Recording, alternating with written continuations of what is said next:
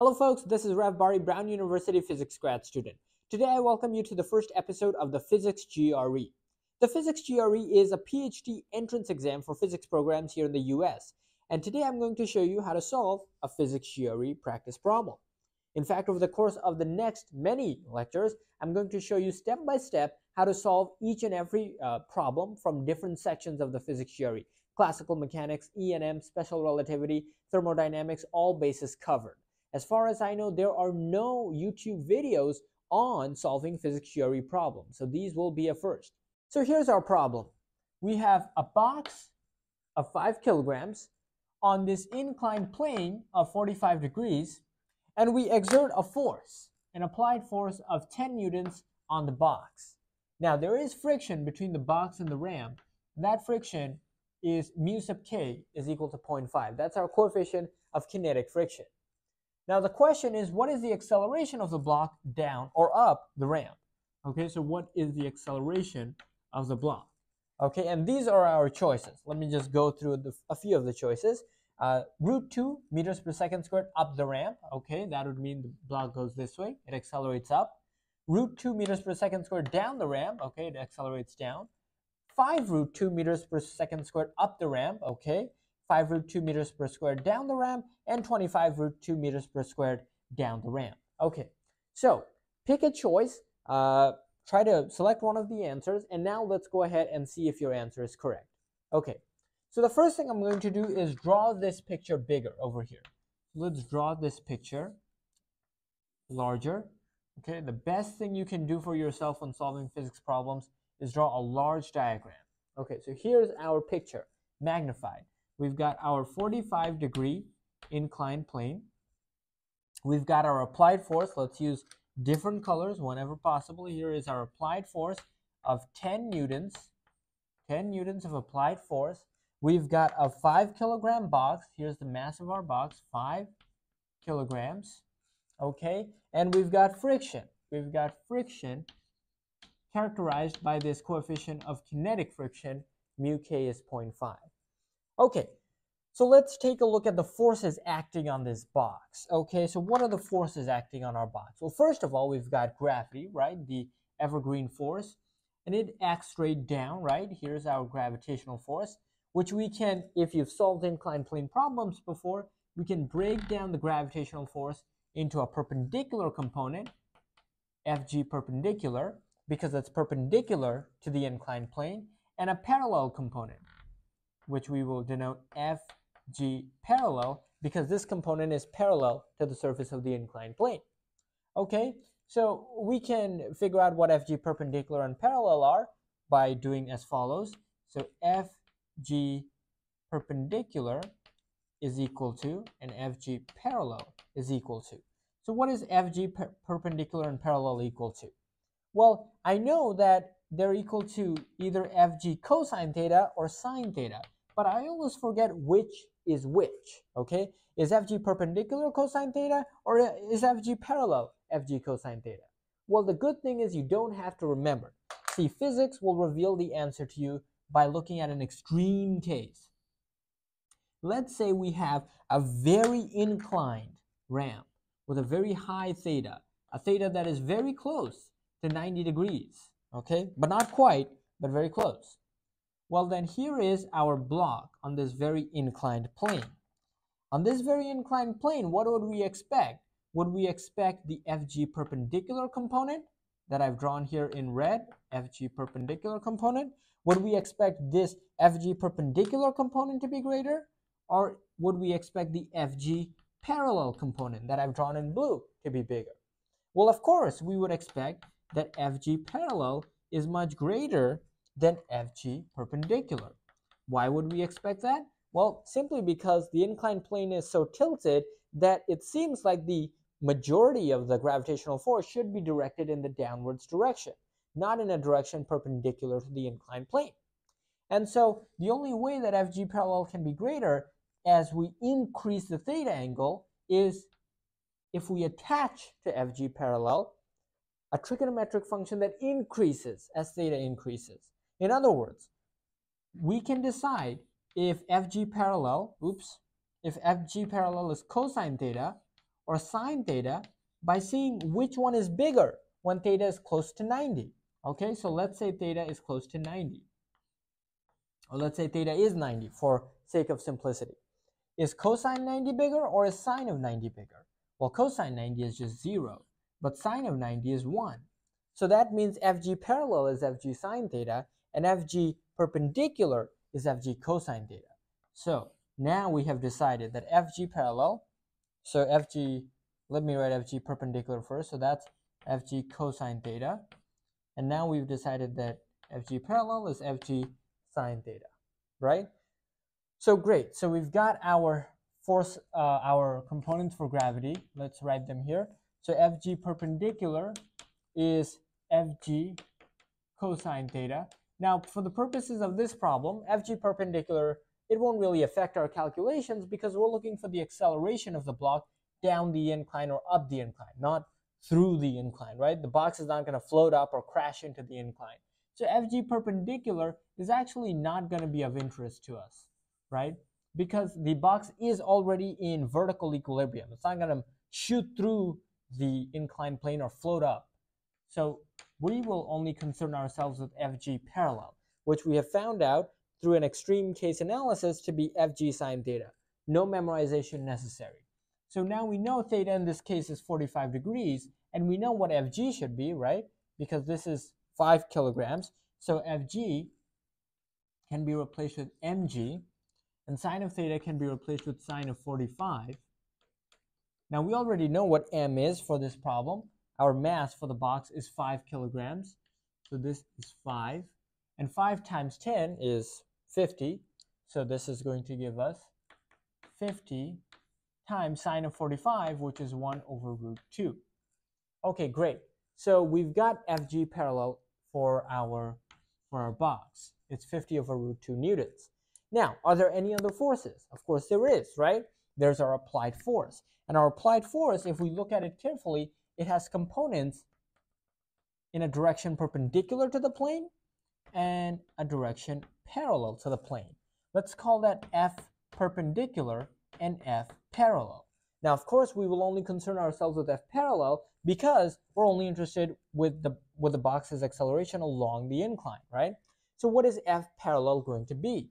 Well, we see that this angle theta is also going to be 45 degrees, right?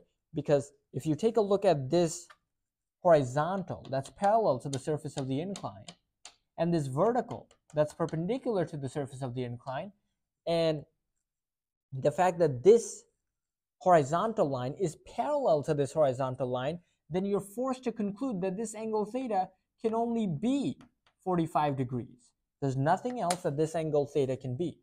Therefore, what is this F parallel? Well, maybe it's a bit tough to see when we have the triangle tilted like that, but now let's make the triangle upright as follows. Okay, so now this is F perpendicular, this is F parallel, and we have just concluded this angle is 45 degrees. So now we can say what this F perpendicular is, okay? So this F perpendicular now turns out to be 10 cosine 45. But what is 10 cosine 45? If not, 10 over, or cosine 45 is 1 over root 2.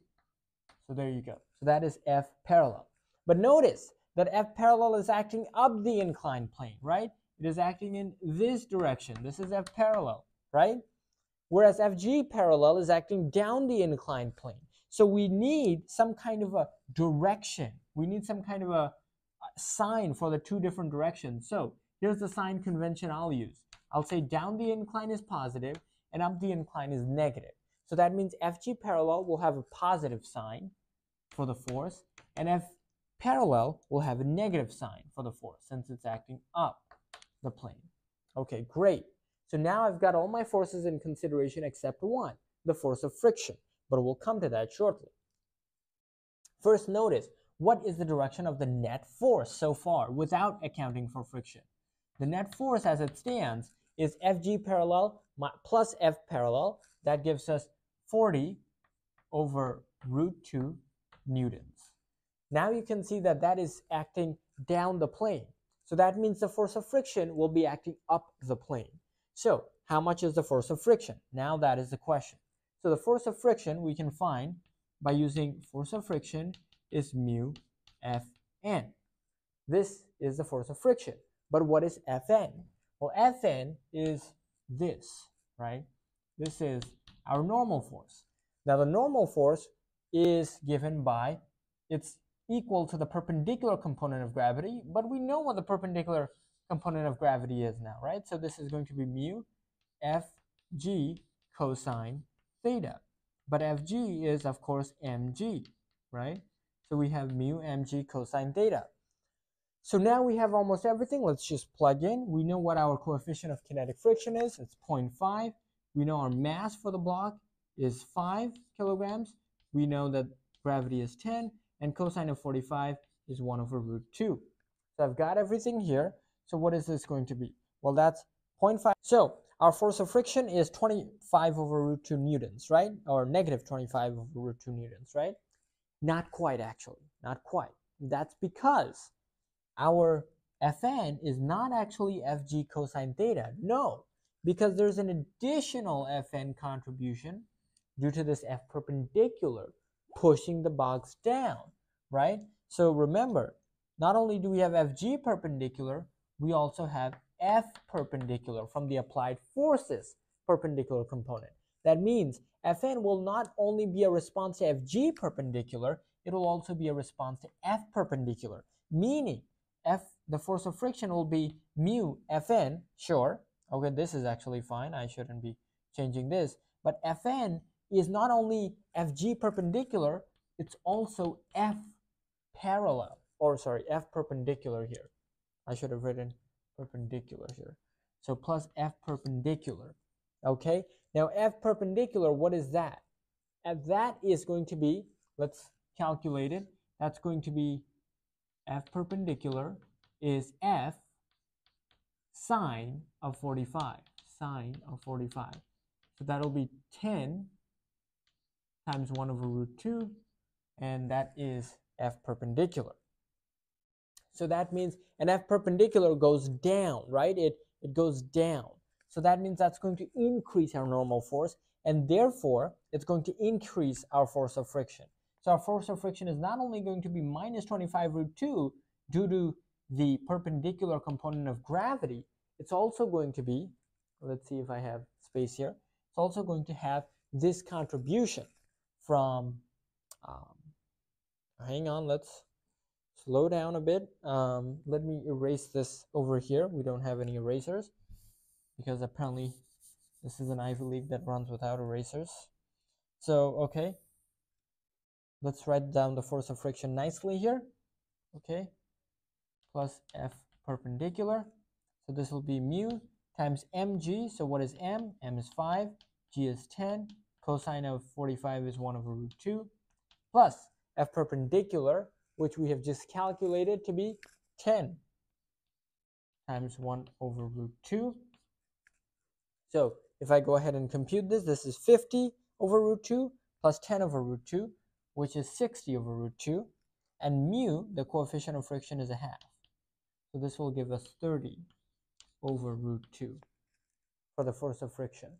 So now I can amend this mistake going back to my net force over here. So my force of friction is 30 over root 2.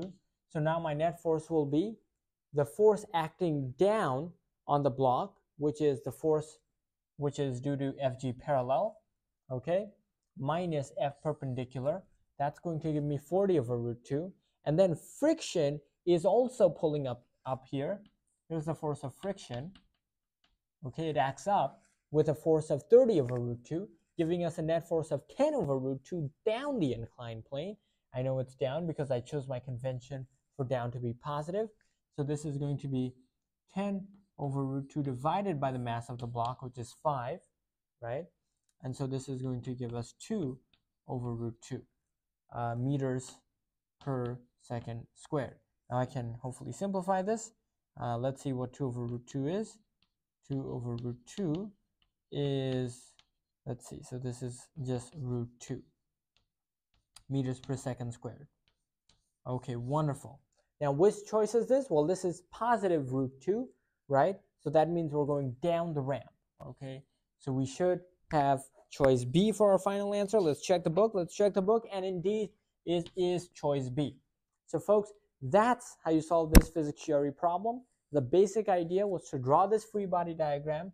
Do not consider the direction of the friction before you find the net force without friction, and that turns out to be down the plane. That means the force of friction is acting up the plane, but then you've got to be careful when calculating the force of friction because it also has this plus F perpendicular due to the perpendicular component of the applied force pushing down. So the Fn, the normal force, is not just your regular Fg perpendicular, it's Fg perpendicular plus the applied forces perpendicular component here. So that's how you solve this physics GRE problem. Thank you for watching. We'll see you in the next one.